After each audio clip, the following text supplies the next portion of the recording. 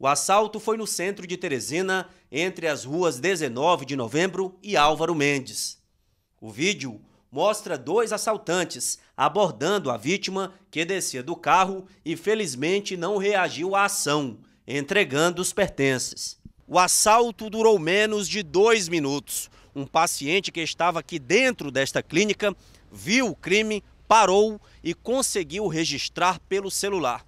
Os dois assaltantes pararam exatamente aqui onde abordaram a vítima.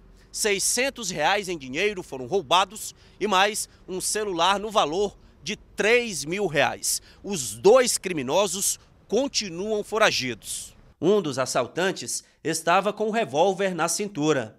O médico foi ameaçado de morte pelos dois homens. Pleno é 12 horas, umas 12 e meia para uma hora uma clínica, próxima à clínica, muita gente na clínica lá, ele chega, dá, desce, enquadra o rapaz e levou tudo o rapaz. O caso foi registrado no primeiro distrito.